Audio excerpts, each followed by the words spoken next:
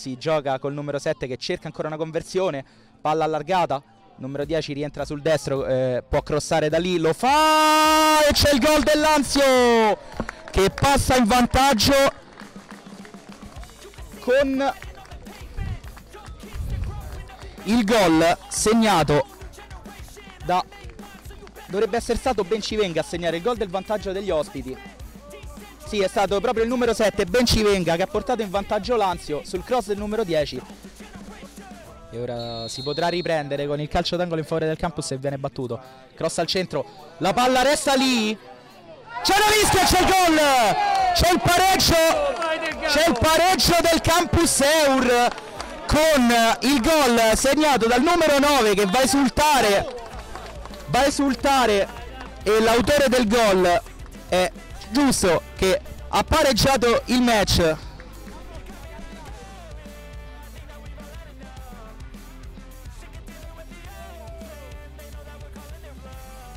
Quindi rimane una sola sostituzione. Attenzione intanto al calcio di punizione!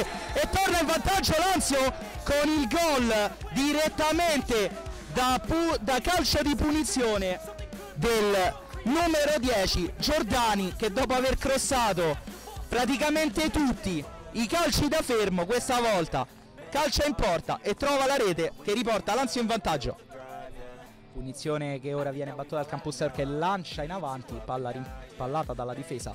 Ospite che prova quindi ad uscire lo fa con il neoentrato Paglia che si allarga a sinistra probabilmente chiedono un fuorigioco i padroni di casa arriva il gol!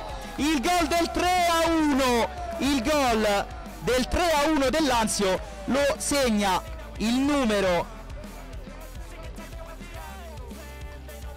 Probabilmente il numero 20 il numero 20 regolati che è entrato da pochi minuti e porta sul più 2